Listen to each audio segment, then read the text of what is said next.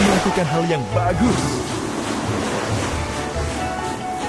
Dan kini, ayo muat material ke Tongkang merah. Ayo tarik kaitan ke gerbong barang untuk memuat materi. Selesai.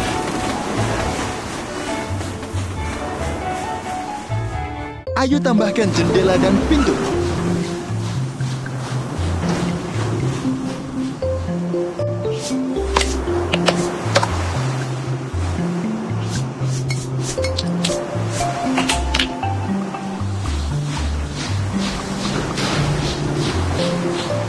Sekarang kita perlu mencucinya bersih.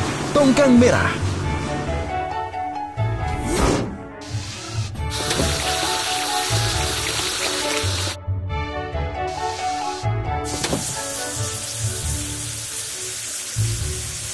Itu dia.